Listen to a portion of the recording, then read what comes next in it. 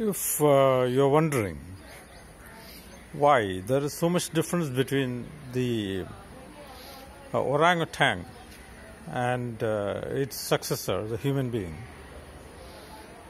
uh, between the mammoths and uh, its successor, the modern day elephants.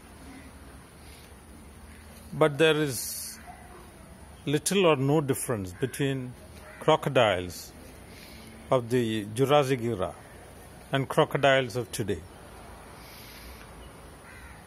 So you may wonder why there is no evolution for this particular species, whereas every other species has actually evolved so much over time.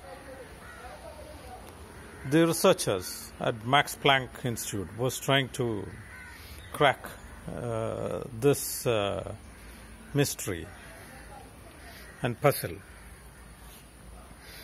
What they found out was that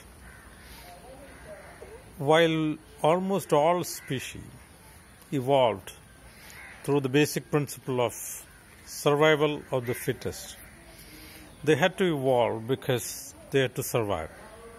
In order to survive, they evolved. Crocodiles were probably the only species which was actually uh, had no reason to evolve because it was made so very perfect right at the beginning.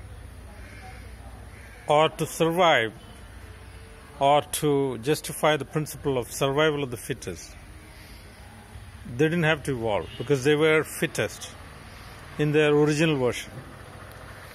You know, the simple comparison is with the automobile industry. There are some cars which uh, uh, remain more or less the same across years, like the Jeep, for example.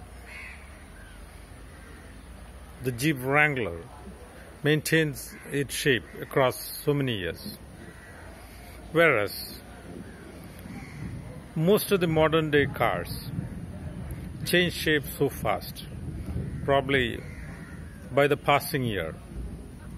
The reason is when you are built perfect right at the outset, like a Jeep Wrangler, you don't have to evolve.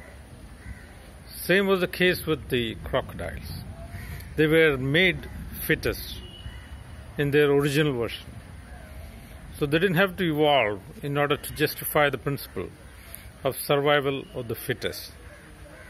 So the Max Planck Institute finally has an answer why. The crocodiles alone seem to stand still without evolution from Jurassic era to modern day, while every other species has evolved dramatically and totally. Thank you very much.